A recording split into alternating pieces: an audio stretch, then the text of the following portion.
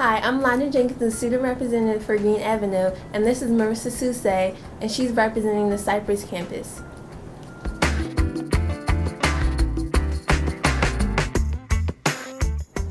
Today we'll be discussing food topics. We'll be talking about the new food that has been brought to our schools. We'll talk about food issues and things you should know.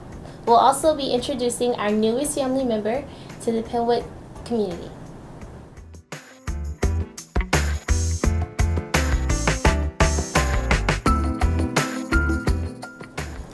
First we have the tortilla concept, which is sort of like a Qdoba or Chipotle feel, and you can have black beans or refried black beans with veggies or whatever you like in your tortilla. Then we have panini grills, which are somewhat like a grilled cheese but with added meat or vegetables or whatever you like inside.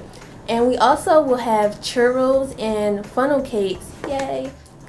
And guess what? The slushy machine is going to make a comeback. Yay! But the only difference will be that it'll it will contain 50% of a whole fruit and it'll be approximately $1.75 for a 12 ounce. And over at Cypress Street, we've also added some new food items to our menu. We've added the hot wings, french fries, churros, and even funnel cake. Coming soon, we also are going to have the slushy, the slushy machine, the Qdoba line, and the panini bread.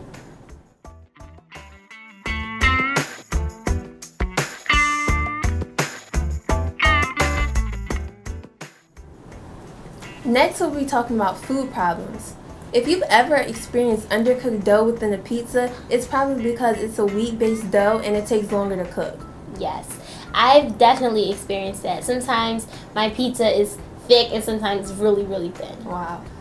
And also the spicy chicken sandwich. I know that's a big hit in school, and it the reason it's so spicy is because it's pre-breaded and pre-spicy. But then at Green Avenue, it's also dipped again in hot sauce, which makes it makes it even more spicy. Wow.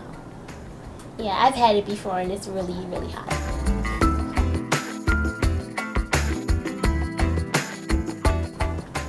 And the last thing that we want to discuss about the food is go to breakfast. Yes. It's free. So go. Go to breakfast. It's really good. And it's also going to be free at Cypress campus as well. Go to breakfast.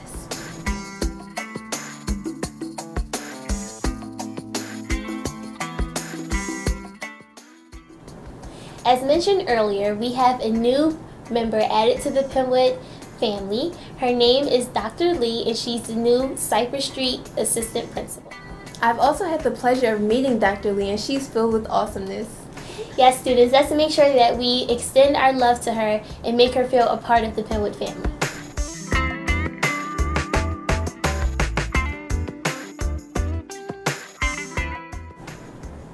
Also, at October 28th school board meeting, the dress code was a big topic of discussion. At the board meeting, board members noticed students not dressed appropriately out of school, so it looks like the dress code isn't being enforced inside of school. But actually it is, by administrators in both of our buildings. So let's make sure that we can still look cute and dress appropriately and show respect for ourselves and our schools. Dress for success.